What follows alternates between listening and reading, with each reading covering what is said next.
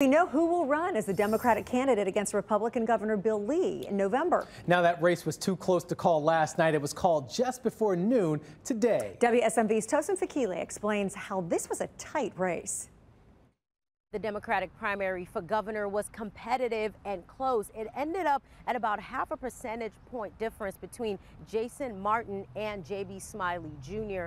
Today, Friday, at about noon, in a tweet, Smiley conceded in that race. Political experts say the race against Governor Bill Lee in the fall will be tough for the Democratic nominee. To enjoy not only this moment, but this movement, you guys, we're going to make a difference in the state of Tennessee this year. The AP called the race for Jason Martin on Friday morning, but Martin declared his victory on Thursday night. The Democratic primary for governor was competitive and close. As of Friday afternoon, about 1,500 votes separated Martin and Smiley. Both did well in their own regions.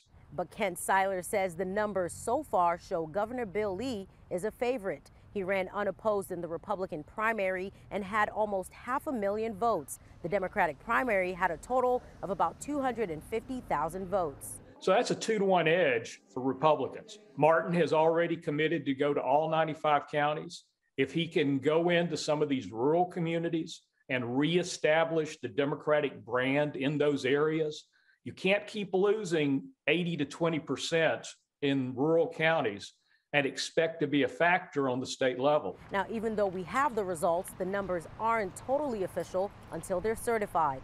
The counties actually have until August the 22nd to certify the election, and the counties will certify that in, in waves. And so they'll start, they'll begin next week and start certifying. And as for what will help declared Democratic nominee take on Governor Bill Lee, I asked political analyst Kent Syler if Roe v. Wade will bring Martin more votes. I can almost guarantee that it will be something that benefits Jason Martin, but I can also almost guarantee that it won't be enough.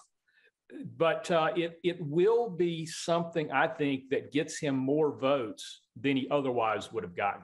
I asked Ken Syler what Tennesseans are looking for in their next governor. He says they're looking for someone who will keep the good economy going and keep the ship stable in the state. At the state capitol, I'm Tosin Fakile for WSMV4.